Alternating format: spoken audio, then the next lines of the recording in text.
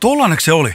Tää se oli. Au. Tämä kivi. Ja se osui Timo keilapallojen väliin. No appin Timo sääs, niin kuin mä silloin sanoin. Ho, Mutta ho, se tuli pakaraan siellä Turkissa. Munkin ohjastajalla tuli kerran ruuvi kärrystä läpi. No kyllä, se Moilanen sen verran kova karju, että kyllä sit lähtö otettiin ja voitettiin. Mäkin voitin aika monta osakilpailua Fordilla. Itekin luota jenkkikärry. Kun mä nyt maistin sua, niin mä huomaan, että meissä on kummassakin tätä samaa johtajuutta ja suuren sielun diversiteettiä. Leikkaus! Raavit!